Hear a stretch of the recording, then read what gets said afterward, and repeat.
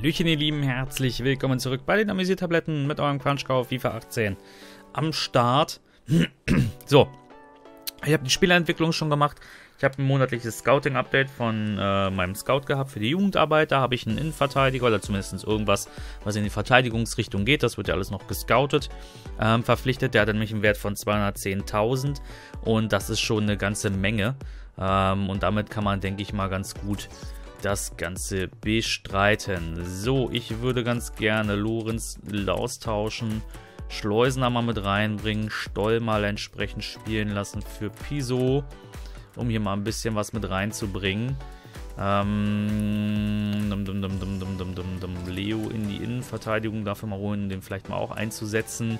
Olleshausen bekommt demnächst auch mal seine Chance. Wobei aktuell kann der mal jetzt seine Chance bekommen. Ähm, wir wechseln dann einfach mal hin und her. So, die Aufstellung würde ich ganz gerne beibehalten. Ähm, passt, glaube ich, ganz gut jetzt erstmal rein. Wir müssen gegen Bremen, die zweite ran. Ähm, ich habe jetzt auch auf jeden Fall schon mal so ein paar äh, Vorkehrungen getroffen für die Transferphase. Da werde ich nachher noch was aufnehmen. Das wird dann morgen am Sonntag kommen. Und dann äh, werden wir da mal so ein Special machen, wo wir uns wirklich nur mit den Transfers ohne Gameplay beschäftigen.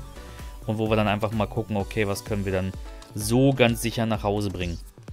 So, jetzt erstmal gegen die zweite von Werder Bremen ran. Mal gucken, was das denn wohl wird.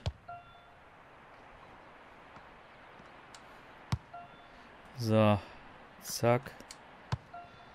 Zack, die Wechsel funktionieren, die Heber. Ich frage mich, das wird sich wahrscheinlich immer weiter aufschaukeln.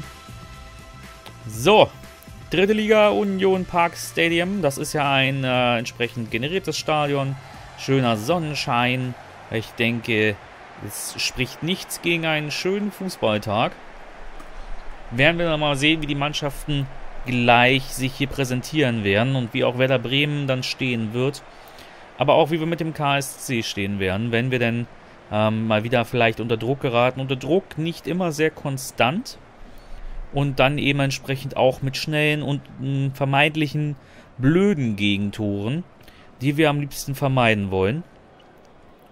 Eidogan im letzten Spiel zwei Tore gemacht, hier wirklich der herausragendste Spieler auf dem Feld gewesen. Und ich denke, hier wird weiterhin das Auge auch auf ihn gerichtet sein, denn er soll nachrücken, wenn entsprechend in der Offensive der Gang hochgeschaltet wird, über die Außen gekommen wird, wird dem auch äh, Eidogan entsprechend dort dann vertreten sein. Die Aufstellung von Werder Bremen und eben nochmal auf das Feld gezeichnet, eine äh, 5-3-2 Formation, wenn ich das so richtig sehe. Sehr defensiv hinten drin, das wird also schon mal auf den Seiten vielleicht ein bisschen Platz zulassen, aber eben entsprechend in der Verteidigung wird es dann für den KSC ein ganz klein wenig härter. Gut, hier noch die Aufstellung vom Karlsruher SC. Orleshausen diesmal drin, Stoll diesmal drin und eben entsprechend auf der linken Seite haben wir Schleusener. Hier entsprechend in unserer 4-5-1-Formation. Oder naja, sagen wir mal 4-2-3-1-Formation, ähm, die ein bisschen breiter aufgestellt ist. Da erwarten wir einfach, dass über die Flügel nachgekommen wird. Und so, Kreis ist gebildet worden, die Spieler stehen zum Anstoß bereit.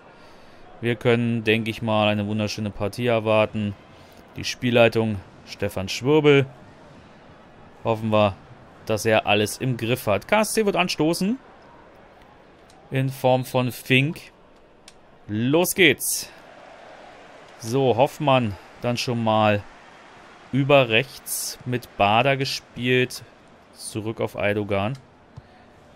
So, der Flügelwechsel auf Hörenbach ist dann wohl erstmal gelungen. Ja, die erste Abseits-Version jetzt hier. Fink im Abseits drin gewesen bei diesem Steilpass. Ja, war aber auch keine knappe Entscheidung. Da war er dann doch klar drin. Aber erstes Anzeichen dafür, dass wir in der Offensive dran sind. Und uns hier auch sicherlich nicht die Butter vom Brot nehmen lassen wollen. Uh, Außenpfosten. Fünfte Spielminute. da war Katzior durch und haut das Ding an den Außenpfosten. Da haben wir nach diesem Durchstecker doch mal wieder Glück gehabt. Ah, und dann der Pass nach innen eher ungefährlich. Und das war Handspiel. Warum jetzt schon die ersten Vorschläge unten kamen zum Wechsel, weiß ich nicht. Habe ich keine Ahnung. Und jetzt hier Freistoß. Werder Bremen die zweite reingezogen. Bülow mit dem Kopf geklärt, aber der Ball immer noch heiß. Verlad jetzt auf der linken Seite. Aber Fink humorlos. Föhrenbach hat den Ball.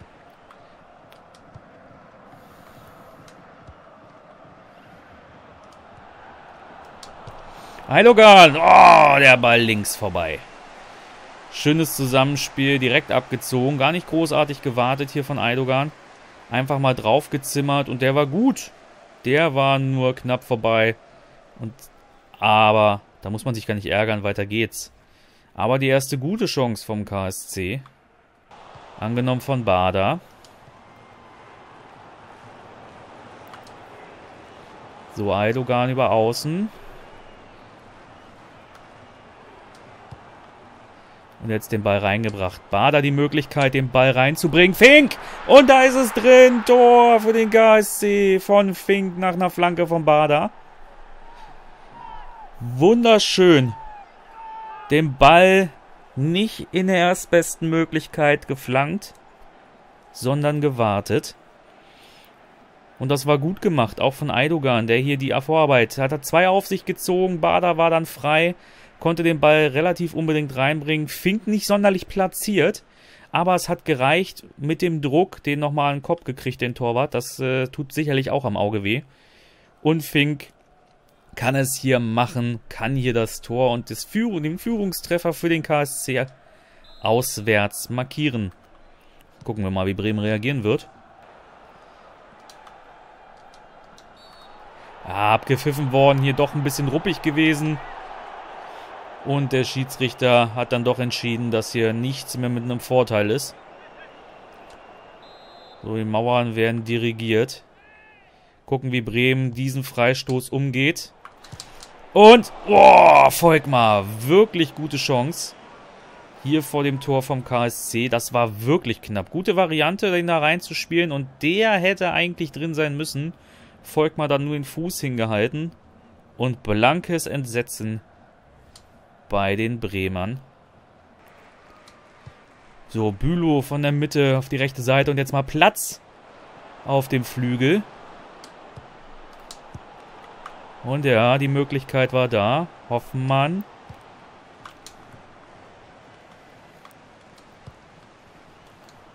Schleusener. Ah, oh, Brüning. Dazwischen. Ecke. Ecke für den KSC von der linken Seite. Kurz gespielt. Muslia spielt den Ball rein. Zu kurz. Bülow im Ballbesitz.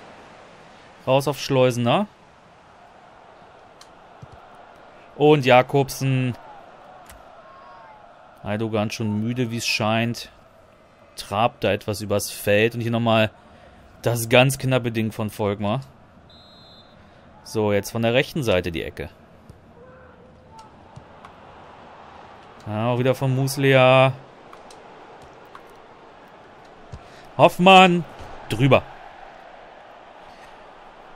Da war noch die Möglichkeit, als er wieder in den Rückraum gekommen ist, hier von Hoffmann, Hofmann, da entsprechend zu reagieren. Aber Nepp, der Ball dann doch zu hoch drüber. Was man sich halt fragen muss, Lässt er noch weiterspielen? Ja, gut, den Einwurf lässt er noch machen.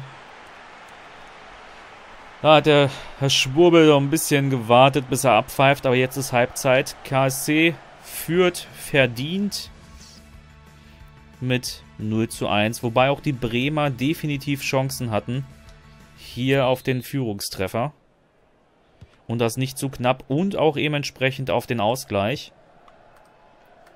KSC richtet sich jetzt ein bisschen defensiver aus.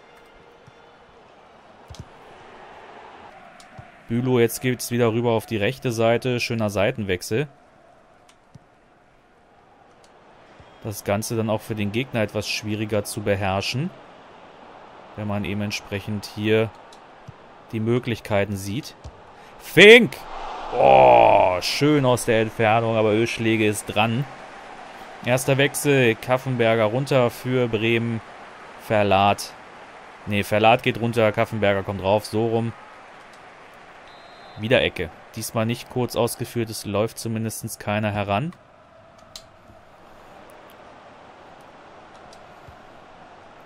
Muslia hier den Ball gerettet. Und hier dann leichtfertig vergeben. Schleusener.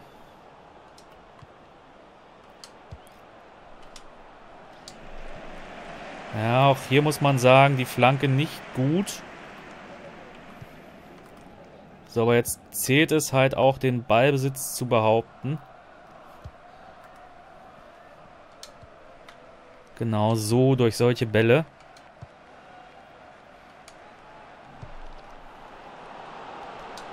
Fink. Ah, ein Kaffenberger dran. So, Eidogan müde, trabt da leer über den Platz, hat aber auch seine Sache gut gemacht. Käuper geht raus, neuer frischer Wind auch für Werder. Und Eidogan geht hier und Wanizek wird ihn ersetzen.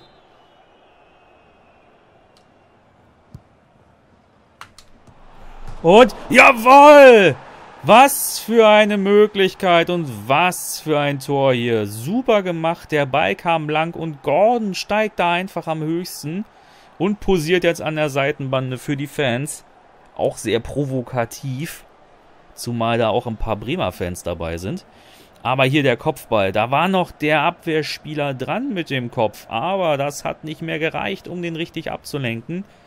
Torwart geschlagen, und Jakobsen wird das Tor anerkannt, weil er mit dem Kopf zuletzt dran war. Also, nicht schlecht derzeit unterwegs hier der KSC. Stellen sich jetzt nochmal eine Spur defensiver ein. Muss man natürlich gucken, dass man nicht zu defensiv wird, damit man eben noch was an Spielanteilen hat. Stoll, gut gemacht. So. Eggersglüss geht raus. Daube kommt für ihn rein. Der dritte und letzte Wechsel von Werder Bremen. Da muss man natürlich gucken, wann wird der KSC nochmal wechseln. In der 71. Spielminute. Und völlig frei, Katzior. Wo war denn da der Gegenspieler? 1 zu 2. Und völlig unnötig das Gegentor. Katzior sich komplett weggestohlen. Und dann war Gordon, der gerade eben noch gefeierte Held, einfach zu weit weg.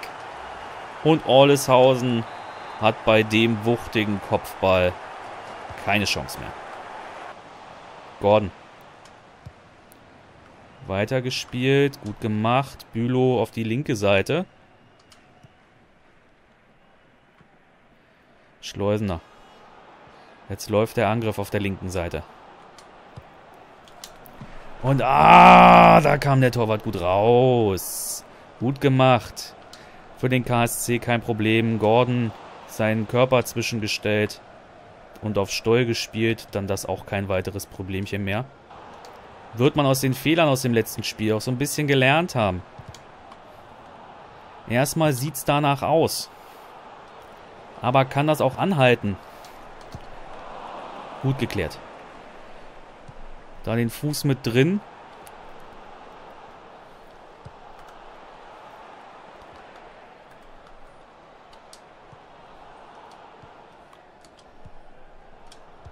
So. Gut geklärt jetzt. Auf der rechten Seite wieder. Der Durchgang. Bader. Weiterhin keine Wechsel beim KSC. Wird wohl so gewünscht sein. Vom Trainer. Bülow auf die rechte Seite. Und Abpfiff. 1 zu 2 gewinnt hier der KSC. Der erste Sieg in der Liga. Endlich der erste Sieg in der Liga, muss man dazu sagen. Das hat ja doch lange Zeit gebraucht, bis das hier entsprechend weiterging. Aber gut, so ist es eben. Die Spieler können zufrieden sein. Anton Fink hier mit einer Leistung, drei Schüsse, ein Tor. Kann man, ähm, denke ich mal, von einer guten Ausbeute sprechen. Hatte aber auch wenig Akzente weiterhin vorne im Spiel. Vielleicht wird der Trainer da irgendwann mal umdenken müssen und sagen müssen, okay, da muss nochmal wieder ein anderer Spieler ran. Sehr klobig eben da die ja, Sturm vom KSC. Vielen Dank fürs Einschalten hier beim Spieltag gegen den KSC. Wir werden jetzt als nächstes ein Special drehen, wo wir entsprechend die, ähm, ja, die, die Transfers mal über die Bühne bringen, die entsprechenden anderen Sachen über die Bühne bringen, ähm, wo wir sagen, wir machen mal ein klein wenig äh, Transferverhandlungen, wir machen Vertragsverhandlungen, auch von unseren eigenen Leuten. Und dann gucken wir mal, wie wir nochmal jetzt rotieren können, weil das Spiel gegen SVW in Wiesbaden, das ist ja schon sehr bald. Da müssen wir definitiv also unsere Leute auswechseln, weil ansonsten ähm, klappt das alles nicht so ganz. Dann sind die Leute viel zu müde. Deswegen gucken wir mal, wie wir da dann weitermachen. Wir können mal eben ganz kurz auf die Tabelle gucken. Das bringt uns jetzt aktuell auf den neunten Platz. Ähm, Tabelle sieht jetzt so aus aktuell, alle Spiele gespielt. Auf den neunten Platz mit sechs Punkten. Der erste Platz ist mit sieben Punkten dran. Also noch alles locker, locker drin. Jupp, dann bedanke ich mich bei euch fürs Zuschauen hier bei uns. Lasst den Daumen oben da, empfehlt uns weiter. Schaut immer wieder rein für neues FIFA 18 Material. Und dann sehen wir uns beim nächsten Mal wieder. Euer Quatsch gesagt, bis dahin, haut rein. Ciao.